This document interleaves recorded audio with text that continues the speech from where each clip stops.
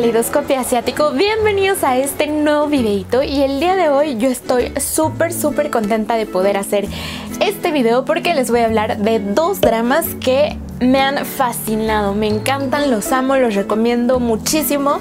Y yo estoy segura que muchos de ustedes están de acuerdo conmigo porque uno de ellos ya se los recomendé en el video pasado.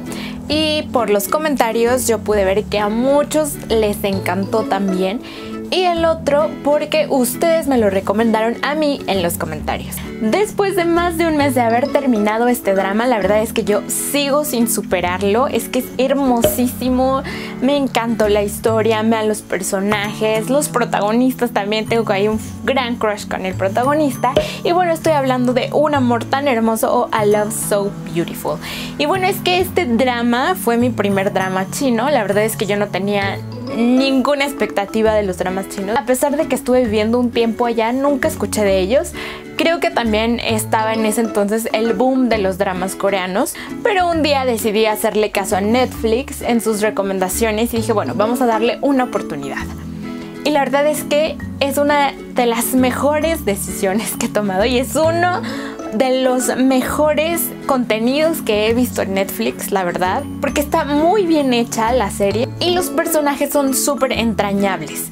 La verdad es que te hace recordar tu primer amor, que es bonito, te hace ver como el lado bueno de estar enamorada de alguien y de tratar de conquistarlo o conquistarlo y de cómo a veces lo que pensamos que no va a pasar si uno persevera, pues de pronto la vida da un twist y pasa lo que nadie creyó que iba a pasar.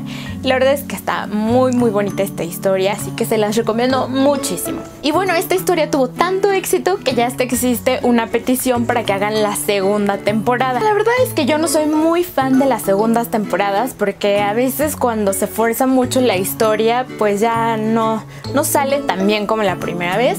Pero bueno, si la esperanza muere al último, si llega a salir una nueva, la verdad es que estaría súper feliz de poder volver a ver a Shen Xiaoxi y a Yang Shen juntos en pantalla de nuevo, ya que hacen una química increíble. Y los actores que hacen a estos personajes ya están ahorita en otros proyectos. Por ejemplo, Hu Tian ahorita está grabando un drama de época que se llama Handsome Siblings.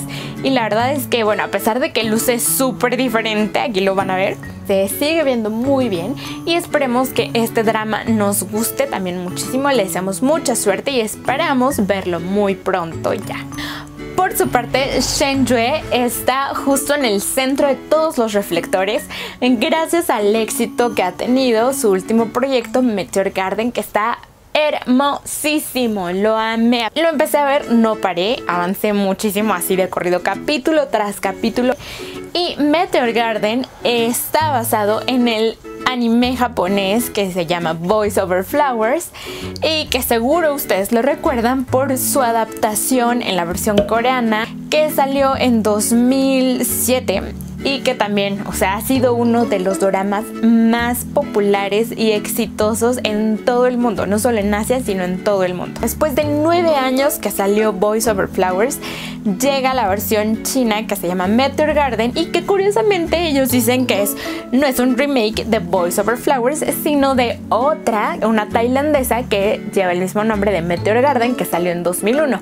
En realidad todas estas están basadas en el original que es el manga Creo que es un buen momento para lanzar esta versión china, que además está renovada. O sea, son pequeños detalles que pues la van actualizando y obviamente también adaptaron a todo esto que viene de China. Y que bueno en lo personal me está gustando muchísimo a pesar de que ya sé quiénes son los personajes, qué va a pasar, cómo van a reaccionar, eh, quién se va a quedar con quién, pues si ya vieron Voice Over Flowers seguro ya lo saben.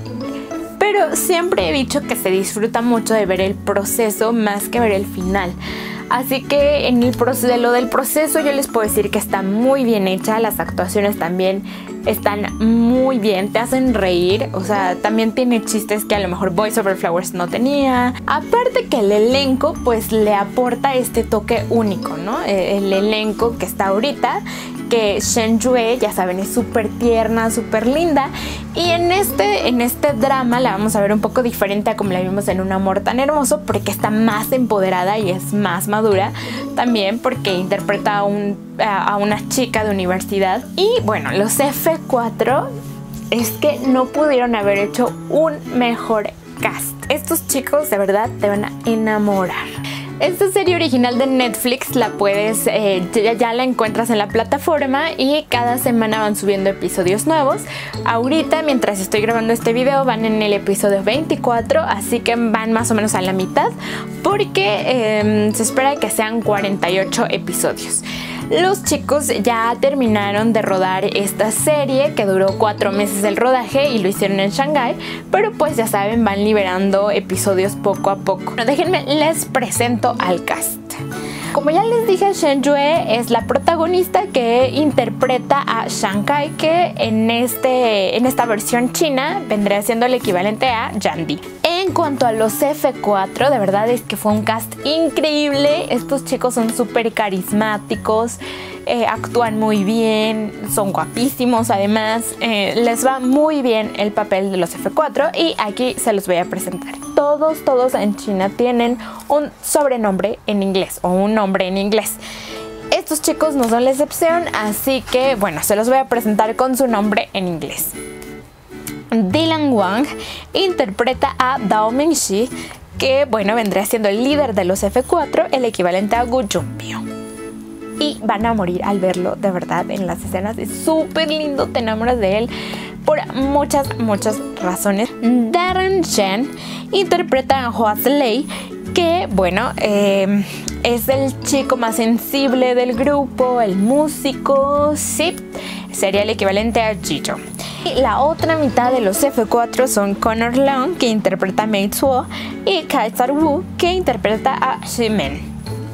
Ellos son los F4, pero no fueron la primera opción de la producción. Resulta que la producción ya tenía, ya había pensado en otros actores para interpretar a los F4, que son ellos. Pero al final decidieron trabajar con Dylan, Darren, Connor y Kaisar que de verdad yo digo que fue la mejor decisión.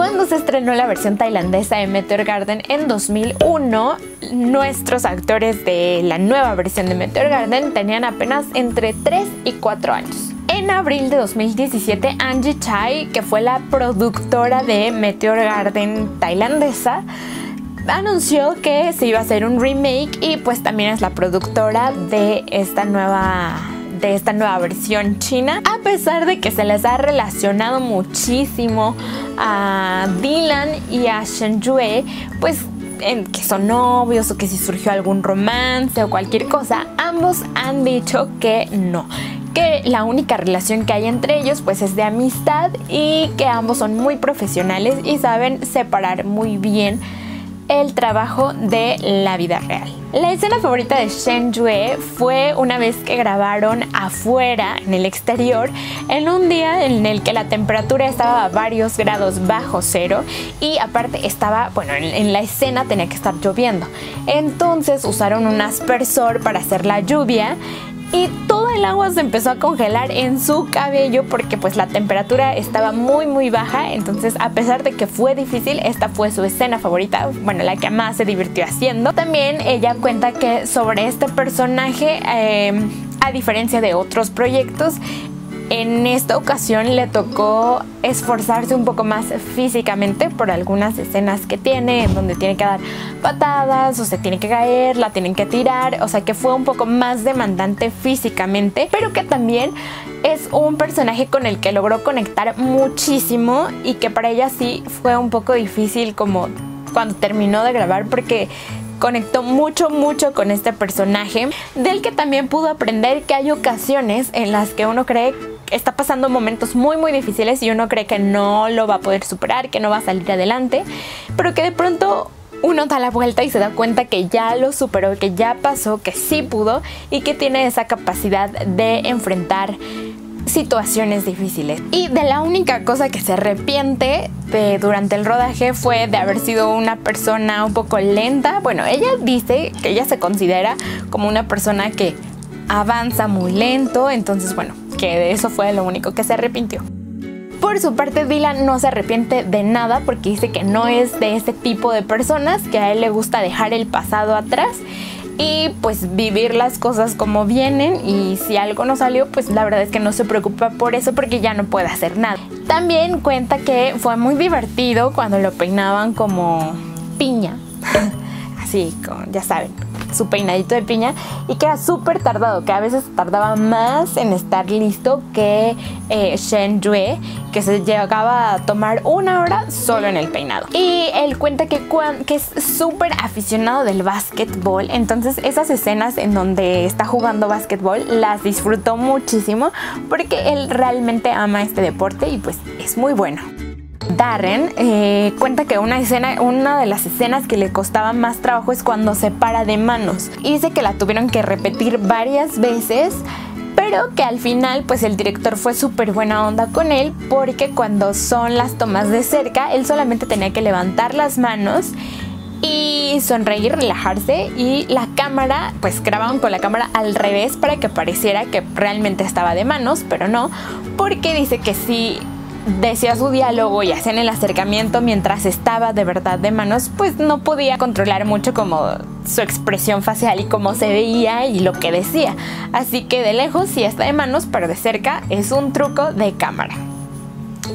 Él tampoco se arrepiente de nada y cree que todo fue una muy bonita experiencia. Por su parte, Caesar lamenta no haber podido estar mucho tiempo con todo el elenco y pues la verdad dice que no era como de los que salía mucho con ellos, así que pues él sí se arrepiente un poquito de no haber pasado tanto tiempo con ellos.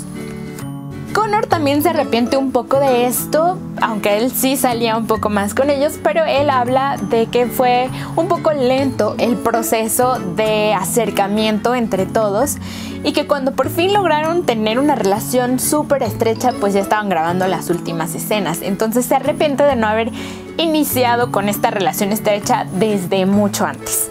Pero todos disfrutaron mucho este proceso, todos se llevan muy bien, son muy amigos. Otra cosa súper positiva de esta serie es el soundtrack que está increíble, las canciones son muy bonitas y la verdad es que yo estoy enamorada de estas dos series, de estos dos dramas.